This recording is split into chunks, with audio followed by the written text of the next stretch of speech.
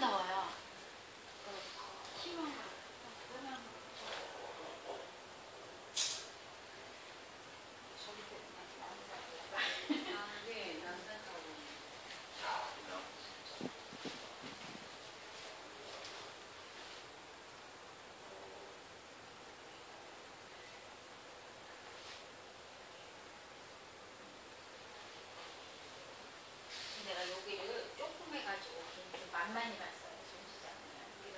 작은 그림들을 준비했더니 아, 50번째도 저렇게 작아 보이는 거예요.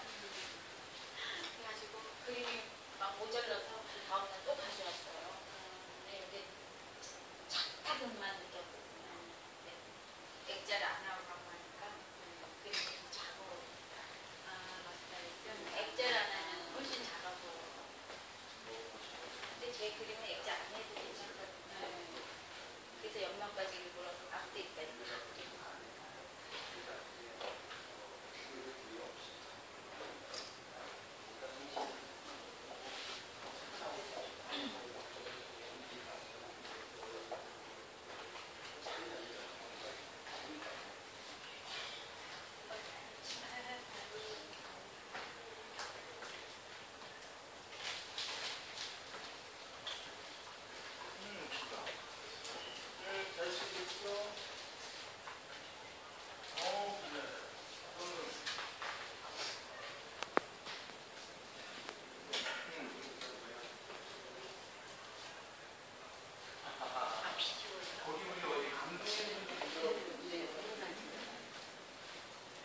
그리고 우리 좀 제가 일찍 3일쯤 오려고 했는데 그래서 올려보면서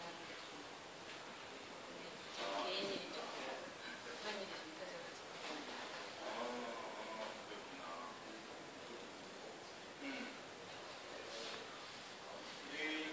내가 지금 지방에 내려가 오늘 갔다가 월요일 날 와. 어, 갑자기 뭐 스케줄이 생겼어? 올려주는 분이 많이 계셔가지고 제가 한 번 다 해도 왜냐면 블로그는 이런 것을 자유적으로 올려주는 게 훨씬 더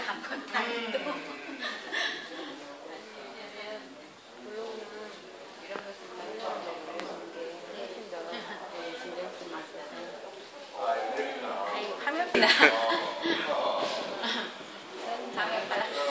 아, 여기 나보고요. 그 왜 인터넷이나 이런 신문에 나뭐 뚱뚱한 줄 아나 봐요. 제가 이 얼굴